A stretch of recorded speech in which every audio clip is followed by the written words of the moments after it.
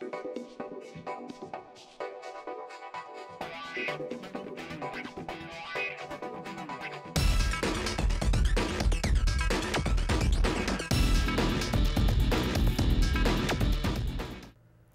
my name is Bill Haynes and I'm with Furuno USA and I'm going to go through a uh, basically a run through of how to connect an X7 series radar up with a Navnet 3D multifunction display.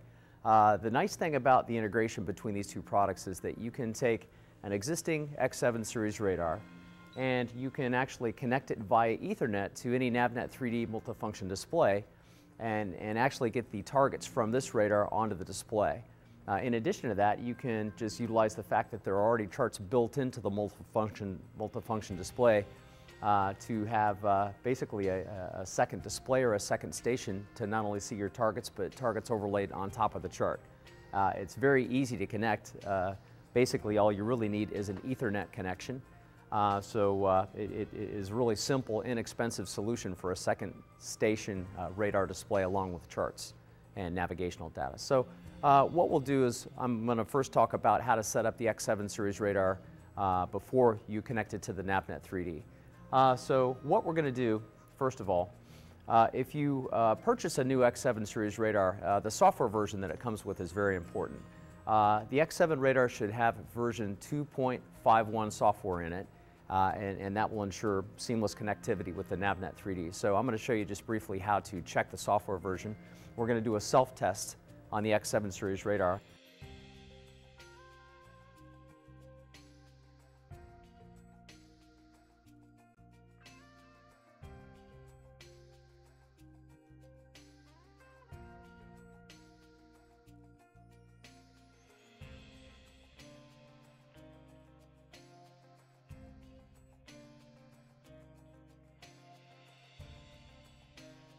Now, uh, the second thing you're going to want to check is you're going to want to make sure that basically the X7 series radar is set up properly right out the gate.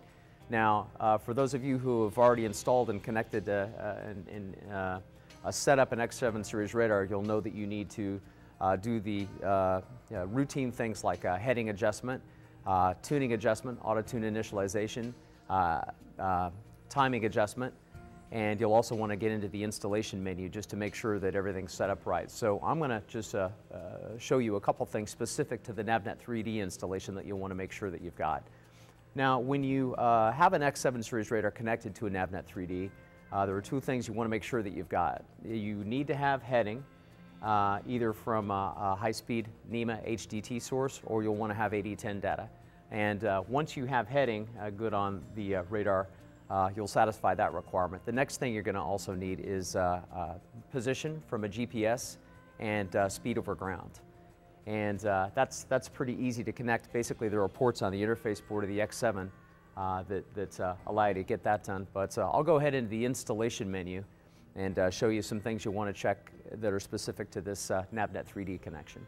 the installation menu is accessed on the, on the X7 series radar by holding down the heading line off and pressing menu five times. Once you do that, that kind of enables the installation mode. So what I'm going to do is after I've done that, I'm going to go ahead and click on installation. Now it's very important that you have item number seven, which is the type set to C mode. That's the non-IMO mode, and that'll make sure that it works good with the Navnet 3D. So that's one thing you'll want to check for sure. Um, once that's done, you've confirmed your software version and you're sure that you have uh, heading and position and speed uh, into the X7 radar, uh, and you've gone through all the normal uh, setups of the X7 radar, including uh, uh, heading alignment, the auto-tune initialization, the timing adjustment, you're pretty much set up and ready to go. And again, the, the goal that we're going to try to accomplish here is to get the targets from the X7 radar over to the Navnet 3D. So uh, now we'll talk a little bit about setting up the Navnet 3D. Okay, now that the X7 series radar is set up as a standalone unit and we've confirmed uh, the things that we need to to make sure it'll work with the 3D, uh, we're going to go ahead and set up the multifunction display, the Navnet 3D. Uh, before you do that though, there are a couple considerations. First of all, uh, the connectivity that exists between these two components is done via Ethernet, and you can accomplish that either with a single Ethernet cable, cross cable, or you can connect each of these two components to an Ethernet hub. Uh, the other consideration uh, you need to, uh, to look at very closely is the heading and position sources. You'll want to make sure that the heading and position sources for both the X7 series radar and the Navnet 3D unit are the same. Needless to say, if you had different headings or different positions, there's going to be problems out the gate. So you want to make sure that you uh, select the same source. Now, just a little bit of an overview on that. Note the fact that uh, for the purpose of this discussion, we are uh, providing separate heading and position to each one independently. So if one were to fail, you'd still have the sensor inputs to the other one. There are ways that you can actually connect sensors just to one and have them uh, basically feed that information over the network, and, and we'll uh, talk about that after we uh, pretty much go through this one.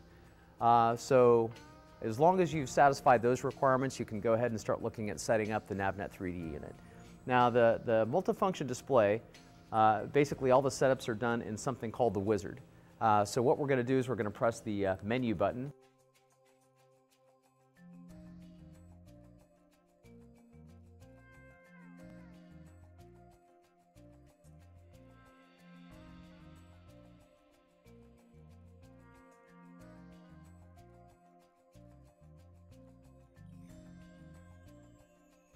Uh, and that's going to get us into the wizard.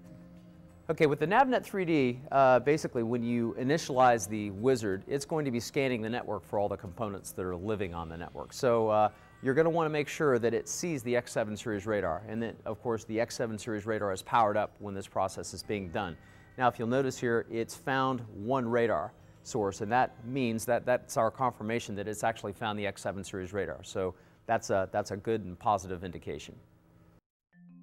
Now it's important to note that in this uh, video that we're doing right now, we have a single X7 series radar and a single multifunction display. This being the case, we're going to want to make sure that this single MFD is set up as a master. And what that means is basically for master DHPC, uh, DHCP server setting, that's going to be set to on. Uh, once that's done, we're going to go ahead and hit the uh, next tab Okay, now after we hit the next uh, tab, it's basically going to bring us to this screen uh, here, which is the uh, uh, setup portion of the installation wizard. Now, uh, the way that we have the system set up right now, we have separate and independent uh, position and heading inputs to both the X7 series radar and the MFD 12 that we've got here. And what I've done is just clicked on the NMEA port 2 input tab, and I can see that I've got position, heading, date and time, water depth. This is letting me know what sensors I've got in here. Uh, and, and, once that you've, uh, again, verified that this information is here, uh, a quick check just, uh, check just to make sure that the radar uh, targets are making it from the X7 series radar over to this MFD-12 is to click on the radar tab. Now once we do that, uh, basically you should see the targets appear and you know, basically you've, you've accomplished what you set out to do. one thing to note is the fact that the adjustments here for heading and main bang uh, you don't need to mess with those because basically all those settings live and exist with the X7 series radar and we're just passively looking at the, uh, the Ethernet data uh, for, for radar and whatnot. So uh, once that's done, uh, you've pretty much, uh, you're going to be good to go with radar targets from the X7. Okay, now that we have both our X7 series radar set up as well as our MFD-12, I'll kind of show you what you can get on the MFD-12 from the X7 series radar. It's actually quite cool. Uh, right now we're just looking at the standalone chart presentation, but of course if you press the display button, uh, you can select either standalone radar or uh, radar next to the chart display. And I'll kind of run through a couple of the advantages that you have when you've uh, connected these two uh, units.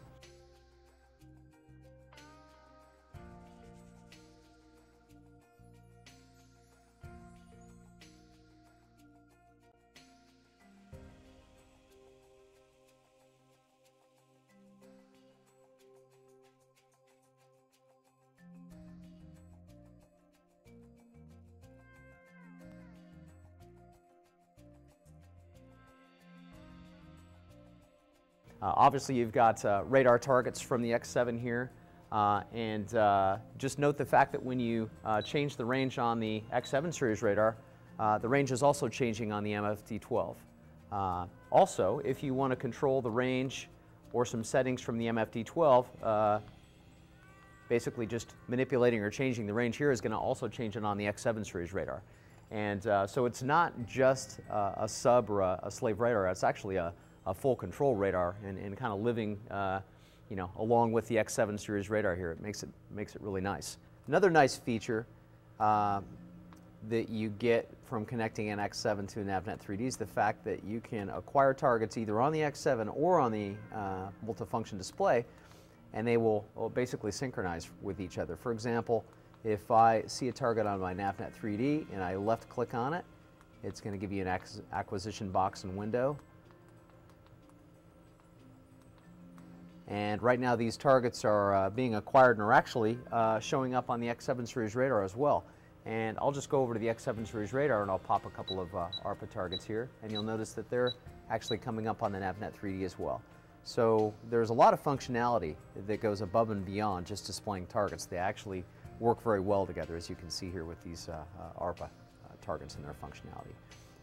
The way that you would cancel the targets on the X7, there's a single button called target cancel. If you were to hold it down, they'd all go away. But also on the NavNet 3D, if you just hit the right click button and you go down to cancel all targets, it'll cancel the targets not only on the NavNet 3D, but also on the X7 series radar. So they really do work well together.